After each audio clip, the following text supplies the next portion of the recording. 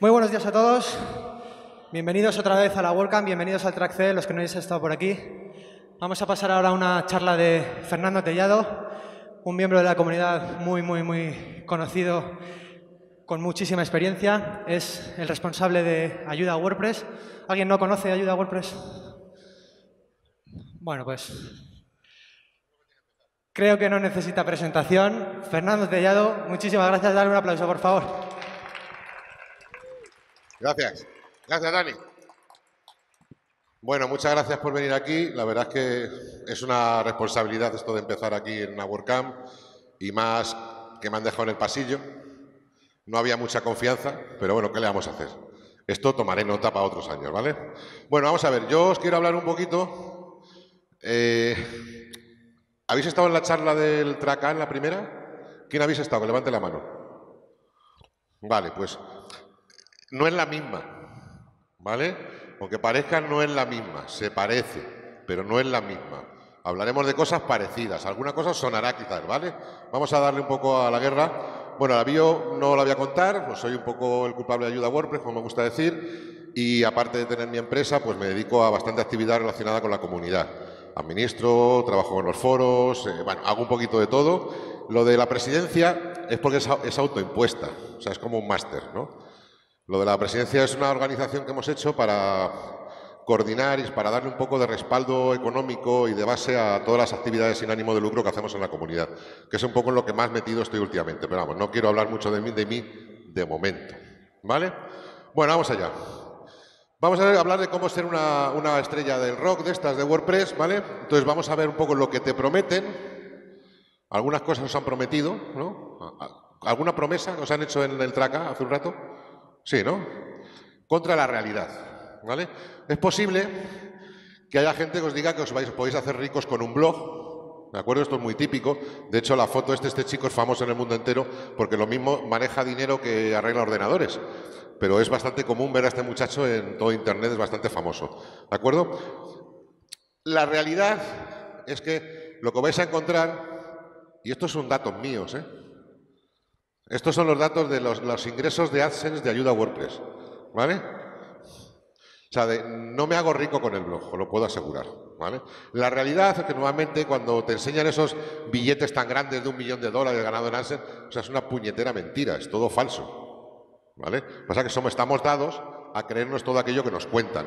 Pero la realidad, cuando os hablan de que haceros rico con un blog, en realidad lo que vais a encontrar normalmente es con esto. Van a pasar los meses y vais a tener unos ingresos de dos euros, tres dólares o como lo queréis poner, ¿vale?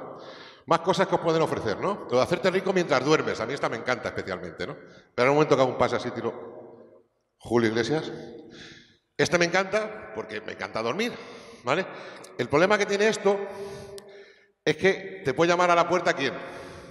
Hacienda, ¿vale? O sea, acordaos que cuando ganamos dinero, si es que lo ganamos, tenemos que declararlo. Esto de mientras duermes, cuidado con hacer dinero mientras dormís. ¿vale? Porque os podéis llamar a la puerta. Más cosas que os prometen. Hazte rico desde casa. esto es la leche, ¿no? Este chico también es muy guapo, muy famoso. También sale muchos, muchos anuncios. Y, oye, ¿quién no quiere, no? Tener esa postura para trabajar. La realidad se parece bastante más a esto. Lo de hacerte rico desde casa. ¿Vale? Que estás ahí malamente, trabajando, con los críos, dando por saco, para variar. ¿De acuerdo? Y también podría ser esto una visión bastante más realista de lo que significa hacerte rico desde casa. ¿Vale? Compaginar. Yo lo puedo decir, yo hace poco monté un coworking porque tenía que salir de casa, porque no hay, no hay una realidad. Tu familia no tiene una realidad de que realmente estás trabajando. A no ser que tengas un pisazo y te puedas poner un despacho, normalmente no tienen realidad de que estás trabajando, con lo cual te toca hacer todo lo demás también. Con lo cual esto es un poco la realidad, ¿vale? O sea, es un poco para... Os estoy quitando la nube sobre todo los que habéis estado en el track hace un rato, ¿vale? Lo digo porque esto es una especie de tarea de desintoxicación. ¿Vale? No, no digo estéis drogados, pero ahí. Casi, ¿vale? Bueno, la libertad financiera, esto es precioso. ¿Vale? Cuando te hablan de libertad financiera, siempre te hablan de un tipo ahí, pues como las Bahamas, las Seychelles, no sé lo que será eso. Lo mismo es a porriño, no lo sé, pero por ahí andará, ¿vale? Y el tipo, pues nada, está recibiendo pasta y feliz. Yo os preguntaría, ¿a qué huelen las nubes? ¿Vale? Porque ese te da tiempo a pensar a qué huelen las nubes. Nuevamente, lo que os vais a encontrar un tipo currando en casa es algo más parecido a esto. O sea, es un tío fricazo, enraizado ya, Porque tienes que echarle muchísimas horas para trabajar en este tema de Internet. La gente se piensa libertad horaria, libertad de ganar para ganar dinero. La libertad no es esclavitud pura. Lo que pasa, ¿trabajas a cualquier hora? No, a todas. ¿Vale? No tienes horario, efectivamente, lo tienes todo completo. ¿Vale? Con lo bonito que es entrar a las 8 y salir a las 5. O sea, es que muchas veces pensar en este tipo de cosas y pensarlas seriamente. Y bueno, la fórmula que nos hablan siempre es esto, ¿no? Yo he hecho una recopilación de todas las webs que venden este tipo de cosas, de la libertad financiera, que hay muchas, y yo digo, joder, con tantos como hay, no hay dinero para los demás, con lo cual solamente con eso ya podemos empezar a pensar. Pues ¿cuántas webs hay que te ofrecen la libertad financiera con tu blog? Muchas, ¿no? Y el dinero, al final, eh, no es un, no es un bien infinito, es finito, ¿no? Hay, hay que repartirlo. Pues si hay tantos, a veces que ellos ya lo tienen y además nos están contando su vida, como yo hoy, por ejemplo, ¿vale? Bueno, pues siempre nos hablan de eso, el advertising, el branding, el marketing, los infoproducts, el membership, el affiliate, el donate, en la madre que los parió a todos, de todos estos palabras que te meten, que esto, esto está muy visto. Eh, ¿Alguien aquí sabe cómo funcionan las sectas, no? ¿Vale? Las sectas tienen que tener varios identificadores para que la gente se, se alinee con ellas. Uno que es que haya gente con necesidad de pertenencia a algo, con necesidad de obtener beneficios de algo o con necesidad de alcanzar estados más elevados como persona. ¿De acuerdo? Entonces, uno de los eh, estándares de cualquier secta es tener una jerga propia, hacerte incomprensible para los de fuera. Yo, por ejemplo, otro día estuve en una mesa redonda de gente teóricamente de mi sector a los que no entendía nada. Me hablaban así. Me hablaban en branding, speech incomplete y todo este tipo de cosas. Entonces yo no les entendía, tuve que parar y decir, ¿a mí me lo explicáis? Pues yo me llevo dedicando esto 12 años y es que no se entiendo nada. A ver si es que hacéis todos cosas distintas a mí. O sea, a mí todo esto, a mí lo que me produce es, o sea, es arcada pura. ¿Vale? Vamos a ver, un, vamos a poner un poco serio, ¿vale? Bueno, la fórmula, en realidad, cuando se encontré este tipo de mensajes, he procurado que no se vea de quién son, ¿vale? Esto lo veréis muchos en muchas webs, multiplica el número de clics, de contenidos, estos botones tan molones de lo quiero ya, ¿vale? Eh, el training rápido pro blogging, esto es la leche, yo llevo 10 años blogueando y gano la miseria que habéis visto, y resulta que hay un training pro blogging, para haberlo sabido antes, ¿no? Bueno, y tenemos este tipo de cositas que accede gratis. Si os fijáis, siempre hay unas cosas que son afiliaciones. ¿Vale? Entonces, por ahí va normalmente el tema. ¿Vale? Bloguear poco, pero enlazar mucho. Y enlazar bien, ¿vale? Multiplica por 10, aumentar mi tráfico 10, los hacks. Bueno, al final esto, pues yo qué sé, si salimos a la calle, pues al final pues casi nos dará vergüenza de decir que nos dedicamos a cosas normales. ¿No? Pues tendremos que decir por de este tipo, ¿no? Bueno, vamos a ver un poquito. Por la fórmula que se ofrecen, ¿alguien ve estos programas de la búsqueda del oro? Que los hay ahora mismo las cadenas estas de, cable y tal y cual, ¿no? La búsqueda del oro, la, fiebre del oro. todos te enseñan esto, ¿no? Las pepitas gorditas, ¿no? Te enseñan, bueno, las gordas ya estas enormes, estas son fakes todos, como podéis imaginar. Fakes como todo lo anterior, ¿vale? La realidad de todo esto es que la gente que buscaba oro era gente bastante pobre. La gente, esta era la gente real que, buscaba oro, no los que vemos en televisión. O sea, la gente que busca oro, estos son unas jornadas que se organizan aquí en España de búsqueda de oro y es bastante menos bucólico. O sea, esto parece que están buscando la merienda o, algo así. ¿Vale? Lo normal es que no encuentren nada. ¿Vale? El que realmente gana dinero es el que vende esto. El que vende los kits. Este es el que gana dinero, el de las palas, porque no hay tanto para todos. ¿Vale? Y bueno, esto al final, todos estos sistemas vienen a ser el famoso esquema Ponzi, en el que tú lo que haces es venderle a los demás, bueno, esto que terminamos saliendo en las noticias. No os voy a explicar lo que es un esquema Ponzi, pero sabéis, un esquema piramidal, en el cual lo que tú ganas es gracias a lo que los demás ganan para ti, por la teoría de que se pueden hacer ricos cuando en realidad el que se hace rico eres tú gracias a ellos. Eso es un poco es un círculo vicioso, pero es un círculo que le funciona a unos pocos siempre, a los primeros de la cadena. A todos los demás no nos va a funcionar. Quitaros de la idea. ¿Vale? O hacemos nuestra propia secta y engañamos a los de fuera o no nos va a funcionar. ¿De acuerdo? Bueno, vamos a ver cómo de verdad ser una WordPress Star, ¿vale? Y la cruda realidad, ¿vale? La cruda realidad es uno de los eso, ganarte la vida con un blog. Si tú buscas en internet el peor trabajo del mundo, te sale esto. ¿vale? Yo pensé que iba a ser un bloguero, pero sale esto, ¿vale? O sale también, por ejemplo, e, esto, o sea, la realidad es que todo el mundo se está peleando por el mismo pastel, ¿vale? Somos muchos. Cualquiera puede ser bloguero. Mira, eso me lo preguntaron a mí hace ocho años.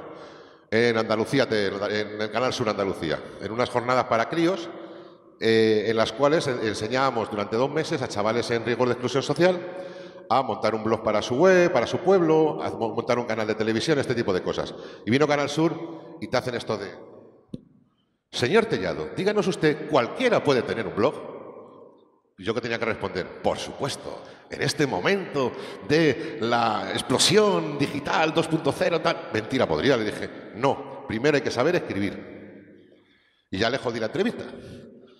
Claro, entonces la muchacha me decía, bueno, pero ¿cualquiera puede tener un blog? No, hay que saber escribir y además escribir. Y así todo. ¿Vale? Entonces son pequeñas cosas que no es tan fácil, no es tan fácil. Luego nos pensamos que ganarse la vida con un blog vamos a ser una especie de superwoman ahí, todas potentes, cuando en realidad se parece bastante más a esto. ¿Vale? O sea, la carga la llevamos, pero bastante más encima de la que esperaríamos.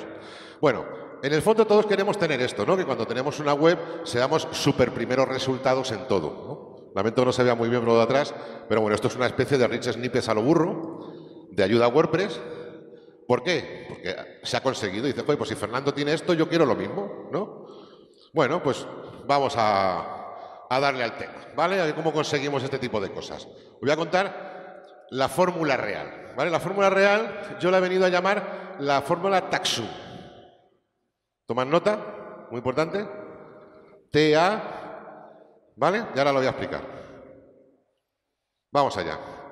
La fórmula real, bueno, también está muy bien la de Woody Allen, es trabaja a tope como si no hubiera un mañana. Esa es la fórmula Taxum, ¿vale? Esa es la fórmula real de bloquear, ¿de acuerdo? Es lo mismo que sumarle cerebro, corazón, ¿vale? Eso es, ¿vale? Bueno, eh, ¿de qué se trata todo esto? Yo cuando publico mis posts de aniversario del blog y todas estas cosas, pues hablo de todas las cosas que yo hago, no sé qué, no sé cuántos, nadie lo lee. La ley está buscando, a ver dónde dice cuánto gana. No lo dice ni lo voy a decir. Luego en privado sí, ¿vale? La gente lo que no se fija es en esto, que son, ¿cuánto pone? Más de 4.000 artículos, más de 41.000 comentarios, 26.000 páginas interesadas en Google, un PageRank de no sé qué, de no sé cuántos. ¿Esto cómo se consigue? No hay secretos, ¿vale? Yo me abro un canal, esto soy yo. Como solo me veía mi madre, ¿vale? Y mi mujer. Pero mi mujer no, mi mujer no me ha visto así. Bueno, el secreto es que llevo 11 años dedicándome a esto. ¿Vale? La fecha del primer post de ayuda a WordPress. El secreto está en que míos, de los 4.000 y pico, son casi 3.800 artículos en esos años. ¿vale? También está que de todos los comentarios que hay, no sé si lo veis, de 42.000, 10.500 son míos, o sea que contesto a la gente y todo, uno de cada cuatro, ¿vale? Hay que dedicarle tiempo a esto. También significa que además tengo un perfil en wordpress.org, que todos podéis tenerlo, y mañana en el Contributor Day muy importante que vengáis para empezar a colaborar con WordPress, ¿vale? Donde, bueno, tengo un perfil de administrador en soporte y he iniciado 11 debates, os he preguntado 11 cosas sin embargo, he contestado a mil y pico. ¿Vale? Hay que entregarse, hay que darse visibilidad ayudando a los demás. Y esto es sin cobrar. ¿Vale? Luego, si miráis el lista, de debates, ahí los tenéis los mismos, en los foros. ¿Cómo vamos de tiempo? Que no me decís nada. Estáis ahí como, como absortos. Ah, están en esa. Vale. Bien. Además, en el perfil, pues si fijáis, tengo una gran actividad, dedico mucho tiempo a esto. De además, soy editor de traducciones, ayudo en los foros, publico plugins, Normalmente los plugins que publico no suelen ser muy, muy bonitos ni tal. Suelen ser cosas que hago, la gente me dice, oye, esto no lo puedes hacer en un plugin. Esto de los códigos es muy feo. Suelo subir plugins de este tipo. Pero bueno, los subo y los pongo gratis ahí para la gente. Pero es que luego además en el blog de WordPress.org también tengo un montón de entradas. ¿Vale? O sea, publico además en otros blogs. Y además contesto a toda la gente que va a WordPress.org, a las entradas del blog. Eso también lo hago. Y luego además en WordPress TV pues también hay vídeos porque vengo a estas cosas a compartir pues esto, los secretos, el taxum y este tipo de cosas, ¿vale? Y bueno, pues eh, soy local manager, soy parte de los editores de, traducción y esto no es simplemente una cosa de figurar, no es solamente una medalla, Significa que cuando vas a los foros y miras a ver quién ha traducido, eh, no es por dejar mal a Luis, que no está, pero bueno, Luis siempre arranca. Pero si os fijáis, en muchísimos de los plugins que utilizáis, si miráis a ver quiénes son los traductores, yo no solamente apruebo traducciones de otros, dedico todos los días, al menos una hora, a que el Joas, los foros, el, WordPress.org, el mismo WordPress, el WordPress para las aplicaciones móviles, como iOS y Android, el directorio de plugins también esté en español, para que el WooCommerce, y por ahí estará Juan Hernando, no sé si le veo, Juan, manifiéstate, entre él y yo nos comimos toda la traducción del WooCommerce porque era indecente. Y esto era una cosa para el crecimiento WordPress, ya que estamos dedicándonos a WordPress, hacemos cosas con WordPress, nada más importante que cómo hacer tiendas online con, con WordPress, ¿no? Pues nos dedicamos a traducirlo para que fuera decente. Pues esto no se hace solo, ¿vale? Pues eso es fórmula del éxito también, es dar. No solamente sentarte y esperar recibir. Mucho dar, mucho dar, ¿vale? Y bueno, hay muchos más plugins, el Jetpack, yo sabéis que lo odio, quien me lee sabe que odio el Jetpack. Rocío, lo siento. Odio el Jetpack, pero lo traduzco. ¿Por qué? Porque sé que la mayoría de la gente no lo odiáis.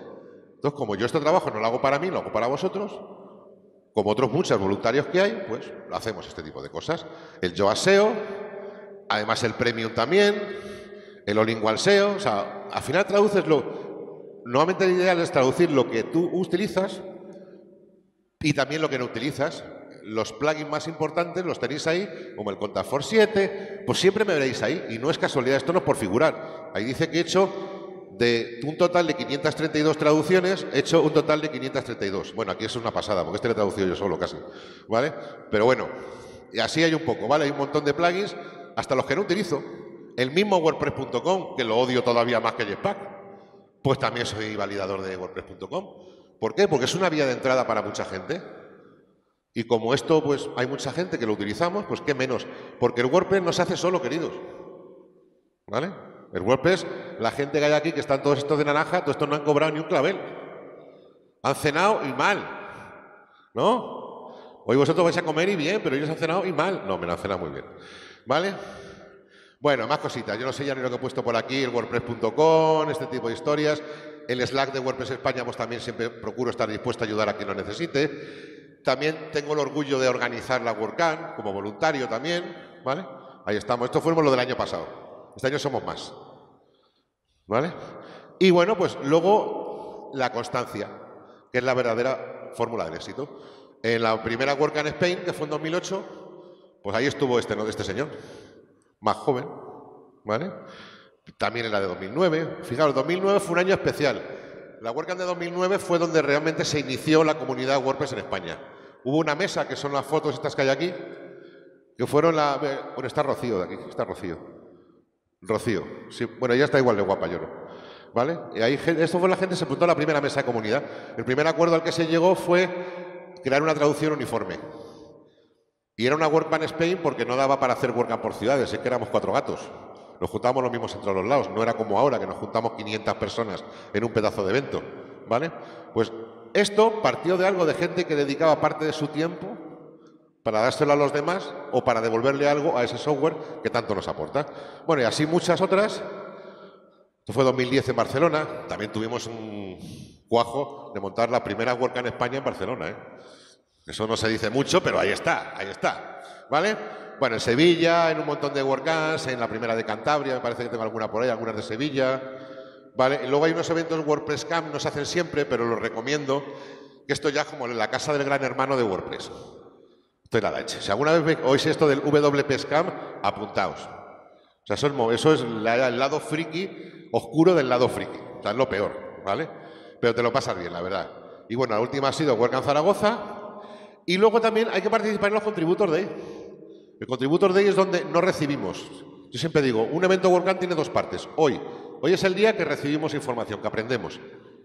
Yo aprendo de todos, aprendo de la gente que viene aquí profesionales. El Contributor Day es donde nos toca dar a nosotros, darle a WordPress. Por eso os animo de verdad que mañana vengáis, porque ahí es donde haces verdaderas relaciones de las que duran para siempre. Donde de verdad te sientes implicado en este proyecto y esto es fantástico. La comunidad WordPress es maravillosa además y la gente es cojonuda. ¿Vale? Bueno, los Contributor Day, esto es uno que hicimos en Sevilla. Luego hacemos también Translation Day. O sea, hay muchísima actividad donde uno tiene que participar. Bueno, esto es una de mis fotos favoritas de WordCamp con mis chicas WordPress favoritas. Bueno, y luego muchas más cosas. Tengo también, coordino la, mitad de Villalba junto con Ana. Eh, hago webinars con SiteGround, con JIT. Hago cursos por mi cuenta. Hago consultorías. También desarrollo webs. Y un consejo. Si queréis, por ejemplo, todo esto que se manifiesta en algún lado, eh, muchas veces el problema que tenemos la gente que nos dedicamos a WordPress es dónde se sabe o dónde podemos hacer saber que nos dedicamos a esto y qué es lo que hacemos. Yo sabéis que odio Jetpack. Sin embargo, tiene una página muy chula. Espera un momento. Tiene una página muy chula que se llama jetpack.pro. Eh, me gusta bastante más que los perfiles de WordPress.org. Es una manera de demostrar lo que hacéis. Entonces, ahí, aparte de poner vuestros perfiles sociales y demás, daros de alta con cuenta de WordPress.com, lo que hace es hereda automáticamente toda tu actividad de tu perfil del .org. Ahí te dice, por ejemplo, bueno, aparte de los servicios que puedas ofrecer, un poco de tu biografía, te muestra, por ejemplo, los plugins que has hecho, te lo hace automáticamente, te coge los vídeos de WordPress TV, que tengas en WordPress TV, te lo todo te lo hereda automáticamente, y así un montón de actividad también de WordPress.org te la hereda. Es una manera de tener un perfil profesional, taller.pro, como profesional de WordPress. No funciona demasiado bien todavía porque mucha gente no lo conoce, pero es una manera de tener un perfil online, ya que no hay títulos, en WordPress sabéis que no hay titulaciones, de tener un perfil de WordPress.org bien. Y luego, lo que os decía antes, ahora montamos adweb.org para realizar acciones eh, totalmente sin ánimo de lucro para todo aquello que tenga que ver con WordPress, en el cual pues uno de los primeros que se han hecho ha sido los hackatones, donde voluntarios, diseñadores, desarrolladores, marketingianos voluntarios eh, hacemos webs o estrategias web para ONGs, gente que no tiene dinero, nosotros les dedicamos un día de nuestro tiempo a hacerle la web a ellos, ¿vale?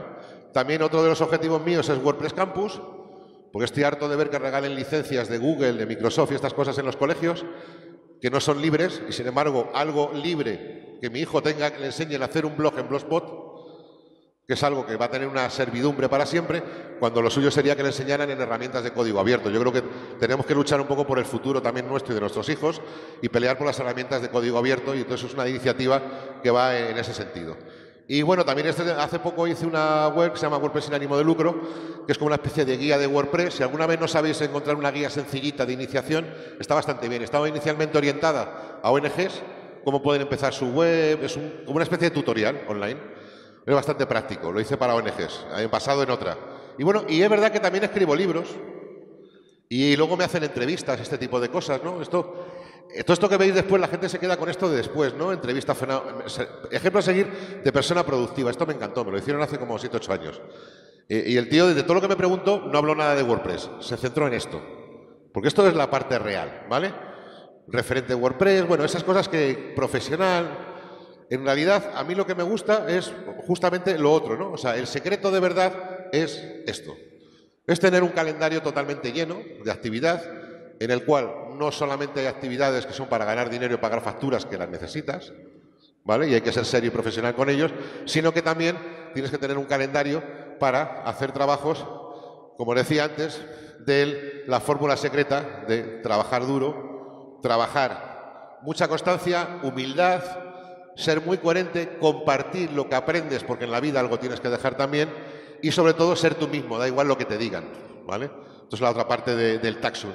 Porque al final todos somos comunidad aquí en WordPress y hace falta este trabajo por parte de la comunidad de todos. Y nada más, muchas gracias por, por escucharme este ratito.